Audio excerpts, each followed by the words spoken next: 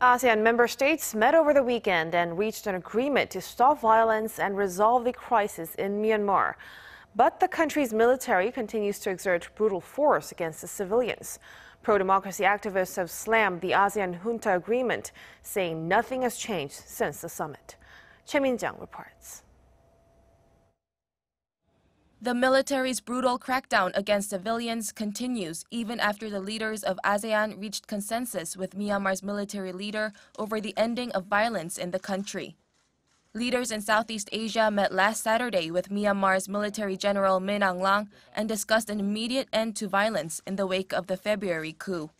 However, even on the day of the summit, protesters were shot and killed in Mandalay and Naypyidaw. Citizens took to Twitter saying that the junta shot everyone they saw while the world's media was giving attention to the military chief attending the ASEAN summit. Arrests and shootings by the military continued throughout the weekend. A man was also shot two days after the summit. Pro-democracy activists have slammed the ASEAN junta agreement for its inability to reflect the voice of Myanmar citizens. The agreement has also been criticized for omitting the release of political prisoners, including the detained civilian leader Aung San Suu Kyi, and also for lacking a specific timeline for halting the turmoil.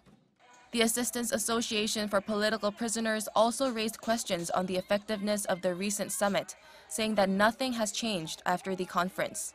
A small crowd took to the streets on Sunday to denounce the consensus reached by the two sides, and many have vowed to continue protests until the military steps down.